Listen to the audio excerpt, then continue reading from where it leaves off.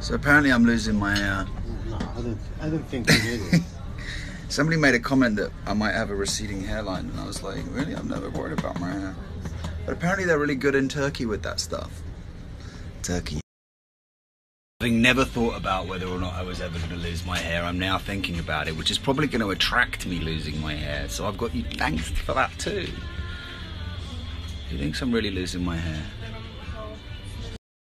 Enza doesn't think I'm losing my hair. Am I losing my hair, Enza? No, not at all.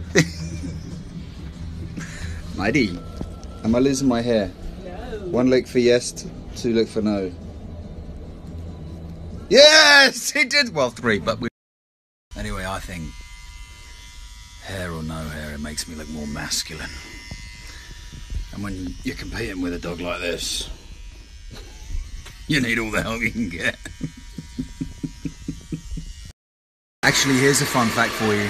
So when I was cast as, eh, as Legolas, they actually had to shave my hairline. I got a, I had a mohawk because they wanted to raise my hairline to make me look more masculine, wise, and mature because that's everything that I know. So you know what? I'm going to embrace it. I'm going to embrace the hairline. I'm going to embrace growing old gracefully. I've never had a problem with all of it. Thank you very much. Love me for it.